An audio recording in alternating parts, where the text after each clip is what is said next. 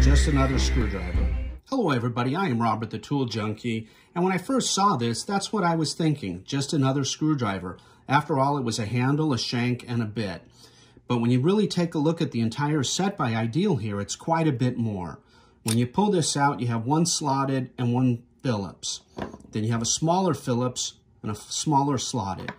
And if you take a look here, you have a 5 16 hex.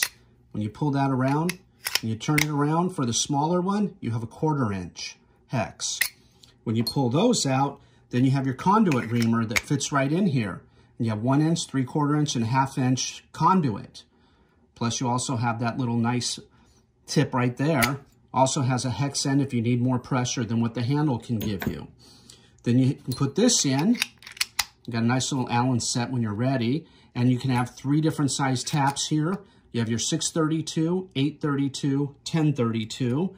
Then when you flip this around, you have your 1024, 1224, and 14, and I'm sorry, quarter 20. So you have six different sizes there. Then you pull that out and you think, what, we're all done? Nope.